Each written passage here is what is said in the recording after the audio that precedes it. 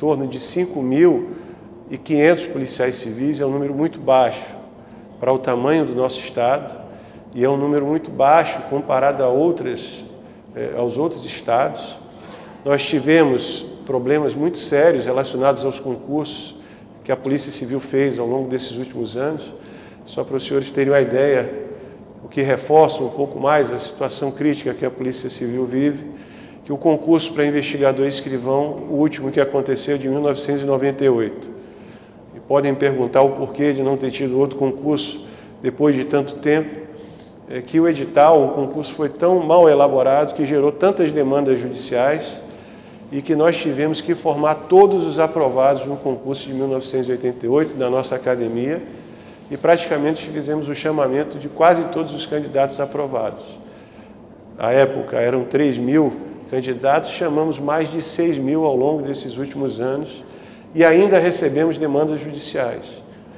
Conseguimos vencer o obstáculo em 2012, fizemos o concurso né, para investigador, escrivão e delegado, e foi um concurso que nós contratamos a CESP UNB, uma empresa é, de referência que faz inúmeros concursos federais, buscamos tentamos achar o melhor instituto que pudesse fazer esse concurso, mas infelizmente também foi judicializado, demandas surgiram e finalmente, quando nós esperávamos fazer a nomeação desses servidores, o Estado entra no limite prudencial da lei de responsabilidade fiscal.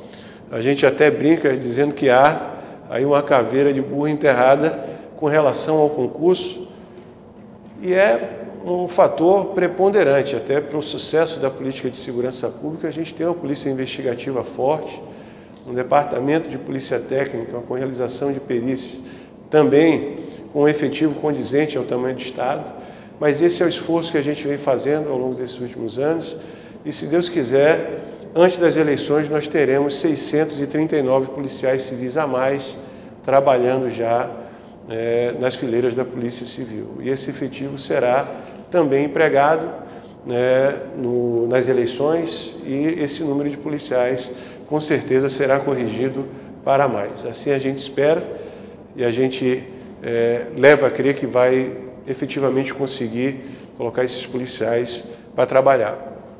Nós temos uma divisão territorial no Estado divididos em comandos regionais por parte da Polícia Militar. Né, nós temos comandos regionais tanto na capital, na Bahia de Todos os Santos, na região do Atlântico e na região central, e nós temos mais comandos regionais espalhados pelo Estado, sendo norte, sul, leste, oeste, sudoeste e a região da Chapada.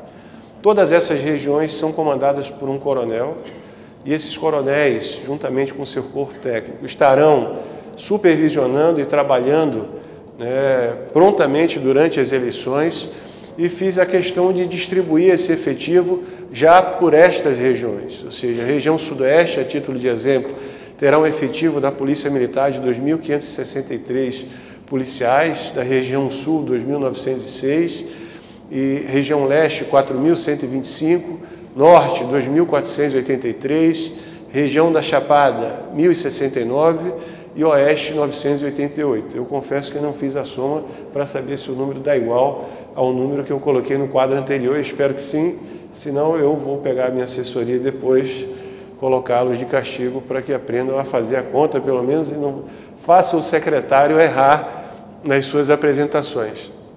Somado a esse efetivo, nós temos os policiais das chamadas companhias especializadas para quem não conhece ou comumente conhece como as Caatingas e outras unidades especializadas que fazem parte do comando especializado e deste comando nós empregaremos algo em torno de 6.200 homens. Na capital e na região metropolitana, o efetivo de policiais militares será de 7.220 policiais militares e 350 policiais civis. Essas são as unidades de polícia especializada que nós temos e elas estarão prontamente é, atuando durante as eleições.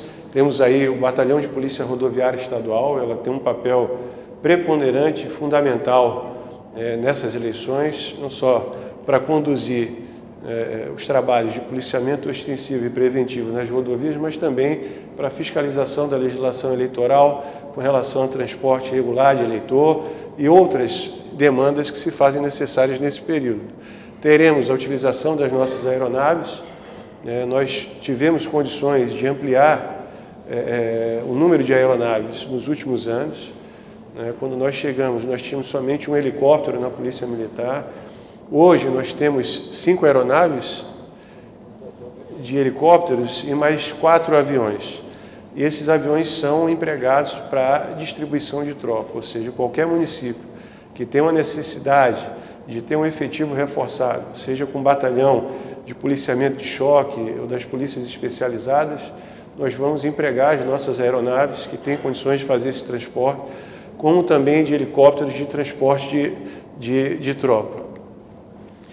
E as principais atribuições das nossas polícias, só para exemplificarmos aqui, a Polícia Militar atua no reforço do policiamento dos municípios sensíveis, e esse é um outro tema. Né? Comumente nós temos a relação de municípios, e o próprio tribunal ele faz é, uma relação desses municípios que precisam de uma atenção especial, seja pelo clima é, criado no município, pelas disputas eleitorais, é, é, por situações pretéritas de disputas eleitorais que já vem acontecendo no município de forma é, a, a, se tomar uma atitude especial com relação àquelas cidades. E para isso é fundamental estarmos cada vez mais próximo ao tribunal para saber quais são essas cidades para onde a gente deve direcionar o nosso efetivo e a nossa atenção. Eu sei que praticamente todos os municípios, ainda mais em disputas municipais tem um acirramento maior e até digo aos nossos, é, nossos companheiros de trabalho que as eleições para prefeito e vereador são as piores que a gente tem. Né? Nós tivemos uma eleição em 2012 muito é, atribulada, né? foi uma eleição marcada por inúmeras disputas, situações de violência né? que aconteceram nas disputas eleitorais, com morte de candidato a prefeito, com morte de candidatos a vereadores, é, é, no dia de eleição mesmo, brigas entre é, eleitores de, de, candidatos e de partidos distintos, compras de votos, inúmeros casos chegando até nós, é, é, e nós mandávamos equipes para confirmar essas denúncias, ou seja, é uma eleição realmente que devemos todos nós ter um planejamento muito integrado para tentar minimizar essas consequências. Apoio no combate à propaganda eleitoral ilegal, escolta das urnas, guarda de urnas, policiamento ordinário dos locais de votação, reforço do policiamento dos locais de apuração e as atribuições da Polícia Civil, que exerce de forma subsidiária a Polícia Federal a função de Polícia Judiciária em matéria eleitoral, limitada às instruções e requisições da Justiça Eleitoral do Ministério Público Eleitoral. Conforme foi dito, serão designados delegados e oficiais da Polícia Militar para atuação específica em todos os municípios durante as eleições.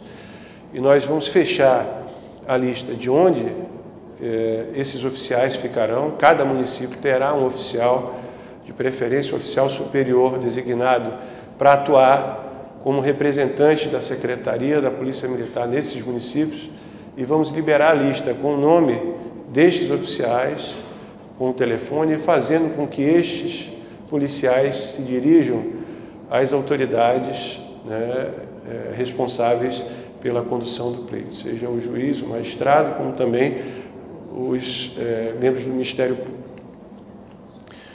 Nós temos um custo para todo esse planejamento que o nosso, esse ano, ficará em algo em torno a 4 milhões 833 mil reais, muito com diárias, deslocamento de efetivo, é, combustível para a aeronave e outros itens de consumo. Esse é o fator principal né, do nosso planejamento, que é a coordenação, que é a análise prévia, o diagnóstico situacional, o próprio planejamento, a implementação, o acompanhamento e a posterior avaliação.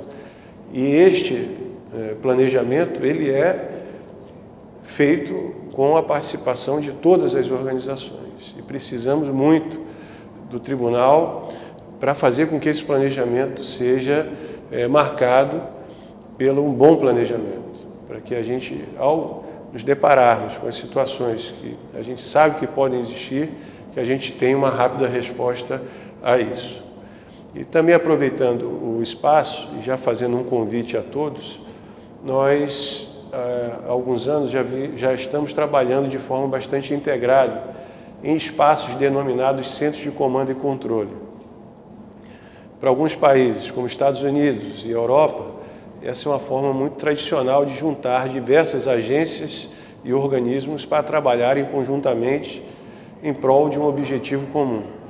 É, dos países europeus, isso se dá mais tempo, como nos Estados Unidos, que tem muitas agências e muitos órgãos, eles já trabalham com a filosofia de força-tarefa e também com a filosofia de trabalhar integrado em centros de comando e controle. E aqui não foi diferente, foi uma exigência né, que nós tivemos que aprender e a criar, é, não só pelo carnaval, que é uma, uma grande é, exigência da integração entre as forças policiais.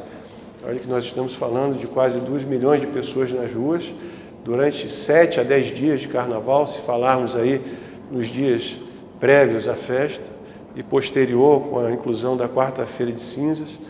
Então nós tivemos essa necessidade e criamos em 2013 o Centro de Comando e Controle Regional, com parceria do governo federal, aquisição de equipamentos e nós instalamos esse centro no Parque Tecnológico, uma estrutura onde nós reunimos todas as forças com equipamentos de última geração, câmeras, imagiador aéreo instalado em helicópteros, centros móveis, ou seja, caminhões que se deslocam até um determinado local e de lá a gente pode extrair as imagens e tomar uma decisão mais qualificada. Fizemos a Copa das Confederações, a Copa do Mundo e concomitantemente nós estávamos preparando o nosso centro definitivo, que é este que nós vamos inaugurar agora, dia 18, segunda-feira, com a presença do governador Rui, e vamos mandar o convite para todas as autoridades né, que, se possível, se façam um presente para brilhantar mais a entrega desse grande equipamento. Para quem não sabe, é um prédio espelhado que tem aqui no CAB, que estava em construção, mas que quem passa agora já vê sem tapume. E nós demos o um nome ao Centro de Centro de Operações e Inteligência. É um centro onde nós vamos reunir as mais diversas instituições de segurança, é, órgãos do município de trânsito, órgãos de defesa civil, nós vamos reunir é, a parte de saúde. Nós estamos levando para dentro desse centro o sistema penitenciário, que vai fazer também, a partir do centro, o controle das pessoas que estão utilizando tornozeleiras eletrônicas. Temos espaço e vamos aprofundar o nosso planejamento para criar um espaço de monitoramento das pessoas que estão sob proteção é, é, da polícia e também aquelas medidas protetivas relacionadas à violência doméstica. A Secretaria de Educação e a Secretaria de Saúde estão ocupando já um espaço no centro para fazer o monitoramento das escolas e hospitais. É uma grande estrutura, na verdade foi um projeto que nós investimos 260 milhões, não só é o prédio, esclareço que nós refizemos toda a estrutura de comunicação do Estado, criando 22 centros de comunicação no interior, e esses centros de comunicação se falam e interligam com o nosso centro de operações.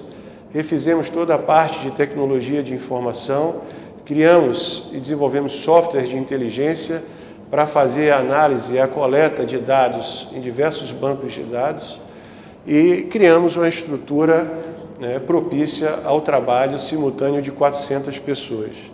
Nós temos um auditório para 220 pessoas. Aqui embaixo nós temos uma sala de reunião, onde nós vamos tratar de reunião estratégica com as mais diversas autoridades. Espero, nas eleições, que os senhores também utilizem esse espaço. Nós temos um centro, o centro do, do, do próprio centro, desculpa a redundância, um espaço para 200 pessoas monitorarem as câmeras da cidade e também atenderem aos despachos das ocorrências que chegam através do 190. E foi com essa filosofia que nós fizemos o nosso trabalho, como já foi dito dos grandes eventos e utilizaremos essa mesma filosofia, esses mesmos equipamentos para as eleições deste ano. Isso é uma representação um pouco é, lúdica a respeito do, de como funciona a, a estratégia de comando e controle. Nós temos câmeras espalhadas. Quando não, nós colocamos o helicóptero que podemos trazer essas imagens, todas direcionadas ao centro, como também os centros de comando e controle móvel, que são esses caminhões que têm espaço para fazer o monitoramento. E toda essa tecnologia utilizada à disposição das eleições. E agora vamos passar pelo nosso grande teste, o terceiro, que são os Jogos Olímpicos. Eu fico aberto aqui às perguntas, às críticas e sugestões a respeito dos magistrados e promotores ao trabalho da Secretaria e tendo a convicção de que nós vamos buscar o aperfeiçoamento desta integração com o Poder Judiciário e Ministério Público. Eu espero que tenha conseguido trazer algumas informações relacionadas ao nosso trabalho e se tiverem alguma outra dúvida ou necessidade, estou aqui para responder às perguntas. Muito obrigado a todos pelo espaço e deixamos a Secretaria à disposição.